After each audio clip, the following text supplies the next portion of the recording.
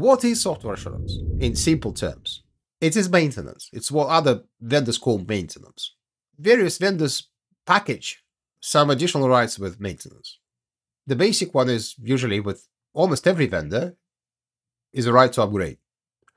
Microsoft, with their software assurance, they also package rights to upgrade your licenses and software to the latest version available during the term of that maintenance. So, say if you bought your licenses with software assurance in 2017 and you by that time you had SQL Server 2017 available, and these were your SQL Server licenses that you purchased at that moment in time, then if you have an enterprise agreement, software assurance lasts three years. Let's assume you have an enterprise agreement and you paid for that maintenance for th- three years, or you're paying in an annual payment. Comes 2019, there's a new version of SQL Server that was released, SQL 2019, and you have a right, you don't have to, you have a right to upgrade to SQL Server 2019. So that right to upgrade comes with software assurance. Please remember that software assurance is a much, much bigger package.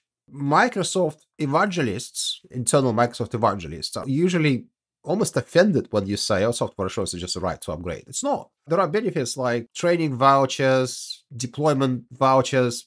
You may find it in Microsoft product terms. You're also given other things with software assurance. Well, you're paying Microsoft for software assurance. It's, it's an ongoing pay, uh, it's an ongoing cost. You have to be given something in return, and what you're given in return is a list of benefits. Here's my warning: watch for your software assurance. If you get attached to those benefits, if those benefits that you get through software assurance become a part of your IT strategy, they're a necessary part of the whole software and hardware solution and cloud solution. We'll touch on that do not let it lapse. If you let it lapse, if you, as someone just this week contacted me, can we cancel our enterprise agreement? Of course you can. But you would have to basically rebuild your entire infrastructure because you're on hook, because you are using these benefits. That's not a bad thing. But before you cancel an enterprise agreement, you have to have a strategy of what you're going to do with software assurance. You can renew it in another licensing program or you can subscribe for licenses. There are ways to deal with that. But if your reason to cancel an EA was just to get rid of annual maintenance, well, what you are losing in addition to just the right to upgrade? Well, firstly, license mobility in server farms. I'll draw a cluster again. Why not?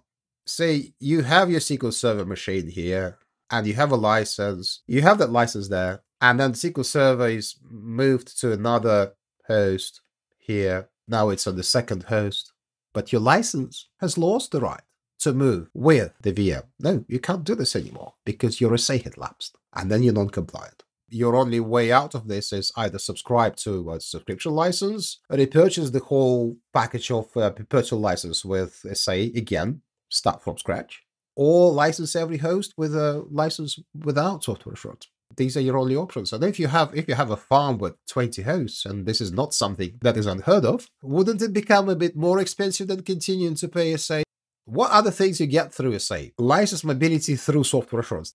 It's a bit confusing. You have license mobility in server farms, but then you have also license mobility through software assurance. Say you rent virtual machines from a SPLA service provider. Imagine it's just Amazon AWS or Google Cloud or your normal hosting provider that you always use, your outsourcer with a service provider licensing agreement where you just rent something from them and, and you pay for what you rent.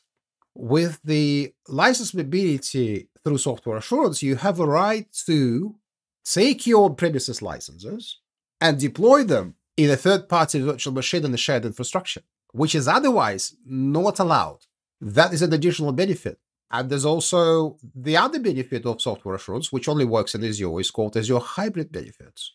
Just to give you a flavor of it, with software assurance, you may deploy them on premises in your nice and neat farm. And then you have Azure, which I'll draw as a cloud, and you can use the same license following all the calculation rules of how many cores you may assign to a virtual machine in, in Azure, but you you may do that. So that will be effectively using the same license, same license twice. That's called Azure Hybrid Benefits. It also comes with software assurance. Imagine SA lapses. What are you going to do? if you want to be virtualized in a very dynamic, hyper converged, whatever you call it, environment, if you want to license your Microsoft software properly for that environment, with the exception of the operating system, you have to cover it with software assurance. If your software assurance lapses, if your maintenance lapses, then you lose the right to move machines between the hosts in server farms and lots of other things that come with software assurance.